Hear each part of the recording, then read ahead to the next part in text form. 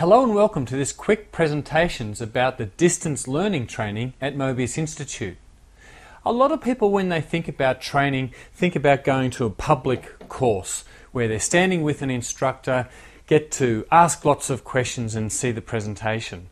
Well, there is another option and that's the distance learning movies on our website. You get to take quizzes, uh, you get to go through the whole training experience and then ask the questions via email and via a forum and so on. You get to learn all of that at your own pace. And of course, you get to see all of the great animations that you would see in a normal training class. You get to see all of the great simulators that you would see in a normal training class.